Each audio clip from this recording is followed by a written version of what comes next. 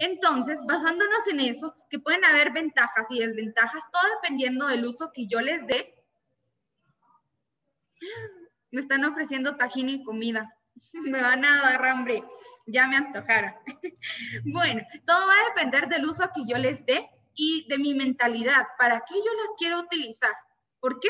Porque se han prohibido muchas veces por el mal uso que les da una persona. Y lastimosamente por esa persona, por ese grupo de personas que las utiliza mal utilizadas, aquellas personas a las que las puede ayudar para poder mejorar con alguna enfermedad ya crónica o avanzada, no la pueden utilizar porque está prohibida en esos países, ¿verdad? Entonces hemos visto que es la drogadicción, que esto crea una dependencia, una tolerancia. Vamos a utilizar el libro del día de hoy. Y bueno, ¿qué acciones puedo hacer para prevenir el consumo de drogas? Vamos a ver un poco de esto. Ustedes me van a ayudar a leer un poco de estos párrafos y vamos a iniciar con, vamos a ver, me aparece primero Alex. Alex, ¿me vas a ayudar leyendo? Estamos en la página 60 de nuestro libro. ¿Bien me dijo algo? Sí. ¿Me vas a ayudar leyendo el primer párrafo de la página 60? Ah, bueno, nuestro libro. Mi libro. María Andrea ya me invitó a Petén. Muy bien, ya vieron, yo me fui a Escuintla, Esquipulas, voy a ir a la Antigua, voy a ir a Petén, ya me di el tour por todo Guatemala. Voy a ir a cada una de sus casas, entonces ya conozco todo. eh, iniciemos. Acciones preventivas contra las drogas. Algunas personas están más propensas a consumir drogas ilegales puede deberse a que conviven con personas que las usan o a que sufren de un trastorno mental o emocional. Muchas gracias, Alex. Farid, ¿me vas a ayudar leyendo el segundo párrafo, ya que eres mi asistente de clase? Por favor. ¿En qué página, Miss? Página 60.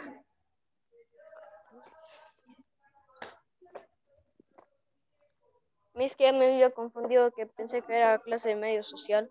Mm, ya me vieron cara de estar hablando de la conquista. no, ahorita estamos en naturales. Solo que soy tu su clase favorita y se olvidan del nombre. Ante esas circunstancias es importante recordar que las personas gozan de libertad para actuar. Por ello, antes de decidir, se deben medir las consecuencias de las acciones. El consumo de drogas es general. Causará daños a la salud del consumidor, afectará también a todas las personas que tienen contacto directo o indirecto con el consumidor. Muchas gracias. Vamos a continuar leyendo, María Andrea al siguiente párrafo, por favor. Ya aparece. ahí. ahí está. Em, algunos países. ah, ya lo encontré. Algunos países cuentan con leyes que regulan, que regulan o prohíben el consumo, el consumo de algunas drogas en Guatemala. Existe una ley que prohíbe a las personas fumar en cualquier lugar público del país se promueve por medio de carteles o anuncios en los medios de comunicación. Muchas gracias. Qué uñas tan lindas, Anita. Y por último, Naomi, ¿vas a leer los tres incisos que están ahí, por favor, marcados con verde? Lo de las organizaciones. Solo levanta tu manita para poder activarte tu audio, por favor. Ahí está, gracias. alcohólicos, alcohólicos, así se llama a mí. Sí, alcohólicos. Anónimos es una organización que ayuda a personas alcohólicas que desean recuperarse. Remar es una organización que no, que no no gubernamental. Gubernamental. Eh, ¿Dónde están las dos signos mis que es? ONG. ONG que apoya a personas con problemas de drogación. hogar y rehabilitar física, emocional y espiritual. Muy bien. Es una organización derivada de alcoholismo anónimos a donde acuden a los adolescentes que viven alcoholismo familiar. Muy bien, muchas gracias Naomi. Muy bien, vemos que tuvimos una tarea de investigar e ilustrar las, los beneficios que brindan estas instituciones. Y aquí vemos, algunas les proveen un techo, un hogar, aquellas personas que tienen un problema con alguna adicción o aquellas personas que viven con, lastimosamente, unos padres adictos. ¿Por qué? Como les he dicho, somos niños, somos seres humanos y vamos absorbiendo, somos esponjitas y vamos absorbiendo todo. El ejemplo que nosotros vemos muchas veces lo repercutimos. ¿Qué quiere decir esto? Lo ponemos en práctica ya cuando estamos más grandes. Entonces, estas organizaciones muchas veces ayudan a aquellos niños que en sus hogares están viviendo esta desintegración, este consumo o alguno de sus papás está viviendo el consumo o la adicción, alguno de estos gestantes, alguna de estas sustancias. También en algunas proveen rehabilitación física, emocional y espiritual para aquellas personas, salud David, para aquellas personas que están padeciendo estos casos.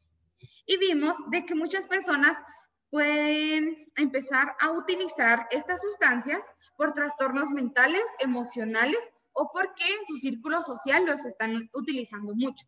Somos seres sociales. El ser humano necesita estar en sociedad para poder vivir, porque imagínense que ustedes viven en una, en una ciudad solos, no van a poder ir a encender la, la luz, ir a encender el cable, correr a su casa, ir al mercado, hacerse pasar por el cajero y luego hacerse pasar por el cliente. No, ¿verdad? No podemos hacer todos nosotros. Necesitamos eh, vivir coexistir en una sociedad para que nosotros podamos seguir evolucionando. Entonces, muchas veces cuando estamos en esta circunstancia, cuando estamos dentro de la sociedad, nosotros nos empezamos a influenciar. ¿Qué quiere decir esto?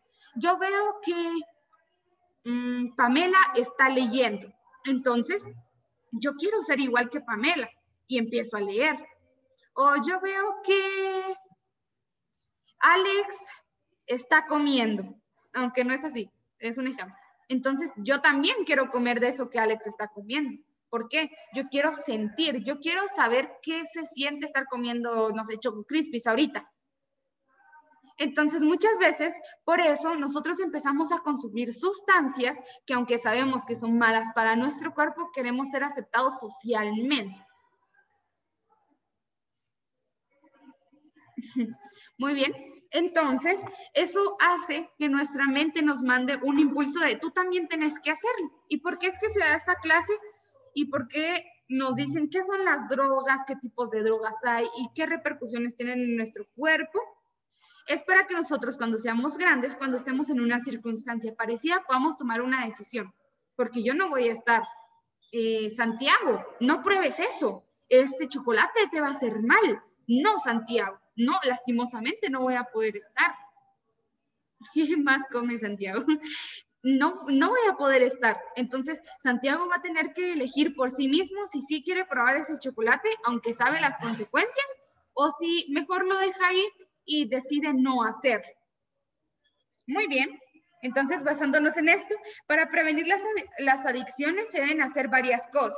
Nos dan un ejemplo mantenerse informado. Muchas veces las personas empiezan a consumir esas sustancias porque no saben qué repercusiones tienen o no saben que pueden utilizarse solo para uso medicinal, para un buen uso. También participar en actividades recreativas, culturales y educativas, que es lo que en este momento estamos haciendo. Fomentar eh, estilos de vida sanos y hemos estado viendo cómo nosotros podemos tener una vida sana, tanto en nuestra salud como nuestras relaciones sociales, personales e interpersonales, fortalecer nuestra autoestima. ¿Por qué? Porque cuando yo me acepto, yo me amo, yo tengo una autoestima correcta, yo no voy a necesitar ser calificado correctamente por las demás personas, porque yo sé que tengo valores, tengo detalles y tengo características que me diferencian. A ver, eh, Anita tiene el pelo, el pelo oscuro también, pero yo tengo mechas. Tengo mechas hasta abajo. ¿Nos diferenciamos en el cabello? Sí. Anita tiene 10 años y yo tengo 18. Nos diferenciamos en edad. Cada una tiene características distintas, habla de distinta manera. Podemos tener rasgos similares. Por ejemplo, las dos, ambas somos del sexo femenino, ambas tenemos ojos, ambas tenemos boca, ambas tenemos pelo largo, ambas nos gusta decorar, pero hay características distintas y cuando nosotros que crecemos en esas características y sabemos nuestro valor, yo no necesito que Anita me diga, ay, Cecia, el día de hoy tu cabello se ve feo. Y yo me voy a poner a llorar, ay, Anita me dijo que mi cabello se ve feo. ¿Qué voy a hacer? No. Porque yo digo, ay, no, si mi cabello es hermoso, si yo hoy amanecí divina, con los ojos hinchados, pero amanecí divina y yo me amo así.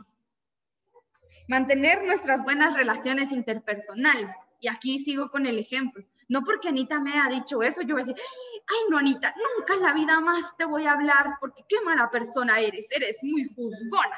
Y ya no me hables y le saco la lengua Anita y ya no me hables, ya no me hables y ya no la recibo en clase. No, mantener buenas relaciones interpersonales. Sabemos que no todos los días son buenos, Lastimosamente no todos los días nosotros nos sentimos felices. Hay días tristes, hay días en que yo estoy enojado porque me levanté muy temprano, yo no quería levantarme temprano, o no me dieron mis panqueques con fresa.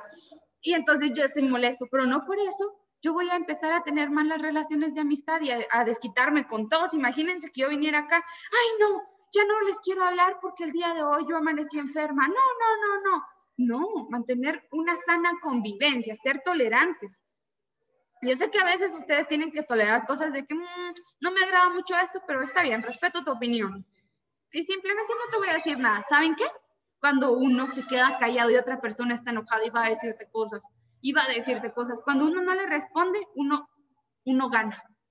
El silencio gana a aquella persona que habla porque sí. Y lo último, practicar valores morales. ¿Qué quiere decir esto? Lo que a mí me forman en mi familia lo que yo formo como persona, saber diferenciar lo bueno de lo malo. Muy bien, esas son las acciones que podemos hacer para poder prevenir todo este consumo de drogas. Ahorita vamos a elaborar la página 61 dentro de clase, si no nos da tiempo, mañana la vamos a elaborar, pero eso es lo que, eso es lo que vamos a hacer ahorita acá. Muy bien, aparte de eso, les voy a dejar una tarea, ¿sí? La tarea, únicamente la tarea de hoy, es elaborar un collage. Ya hemos elaborado collage en nuestra clase de naturales.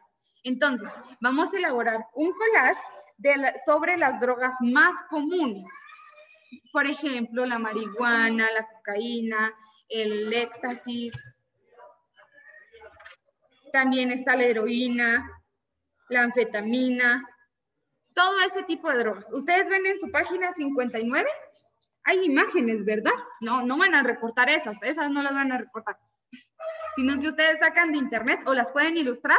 Aquellos que ilustren deben de, ilustrar mínimo 10. Ahora, aquellos que sí, sí van a pegar recortes, recuérdense que es en toda la hoja, ya hemos elaborado collage. Ahorita voy a resolver dudas. Mientras estoy explicando, bajemos manitas. Yo cuando termine de explicar, voy a resolver sus dudas. ¿Sí, mis corazones? Así no nos cansamos de tener manita arriba. Muy bien, ¿cuál es la tarea? Elaborar un collage sobre las drogas más comunes. Esa es la tarea del día de hoy para nuestra clase de naturales. Y eh, dentro de clase vamos a elaborar la página 61 si no nos da tiempo de terminar, mañana la vamos a elaborar, pero esa va a ser acá. No se adelanten, no la empiecen a hacer sin mí, porque si no, sí voy a bajar puntos. Recuerden, tenemos que seguir instrucciones. Entonces, únicamente la tarea del día de hoy y únicamente lo que me tienen que enviar foto es del collage sobre las drogas más comunes en su cuaderno.